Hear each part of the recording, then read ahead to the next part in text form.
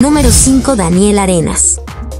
Todo comenzó cuando los conductores del programa Hoy Día le pidieron a Daniel y a Adamari López que les explicaran cómo se daba un beso en una telenovela, algo que el actor hizo sin pensar.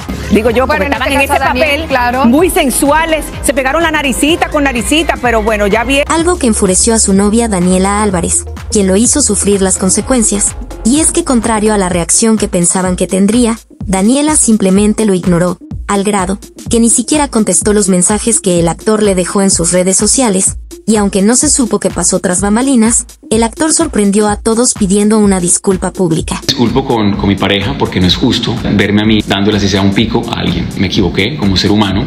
algo a lo que la actriz tampoco reaccionó, por lo que varios medios aseguraron que la relación había terminado. ¿Crees que estos famosos debieron ser perdonados por su pareja o tenían bien merecido su castigo? Déjame tu comentario en la parte de abajo.